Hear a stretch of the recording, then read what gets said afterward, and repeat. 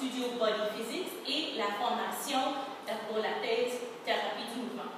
Aujourd'hui, on va regarder les positions intermédiaires à avancer dans la position de choc pour travailler les trois têtes du triceps. Bien sûr, ça c'est considéré un niveau 2 et on veut explorer tous les mouvements de base avant qu'on s'en vienne ici dans les niveaux 2 intermédiaires avancés avec nos clients. Donc, dans la position de chien, j'ai mes trois pattes, chien et chat, ici, trois pattes pour la stabilité, et j'ai pris la poulie qui est en ligne au lieu de sur la 45 degrés, parce que je veux vraiment que ça soit moins les trapèzes et le deltoïde postérieur, et plus mon grand dorsal qui travaille en activation. Ici, bien sûr, j'ai une contraction au niveau du transverse et euh, le rectus abdominis, les abdominaux de surface.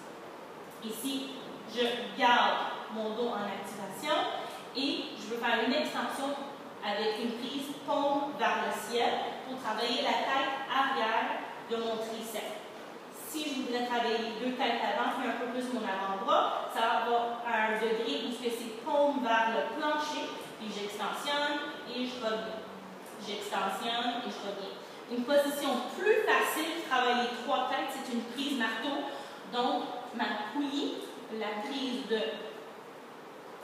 devient un marteau. Alors, c'est le même principe, on extensionne et on revient. On extensionne et on revient. Tout le long, en gardant une contraction au niveau des abdominaux.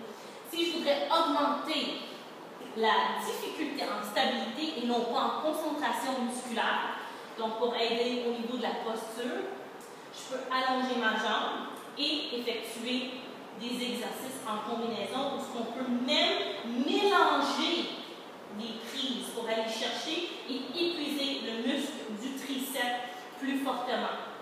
On peut avoir 90 degrés aussi. Alors ça, ça a été considéré, ça, on considère ça intermédiaire avancé à cause de tous les concepts qu'on va mettre dans l'exercice.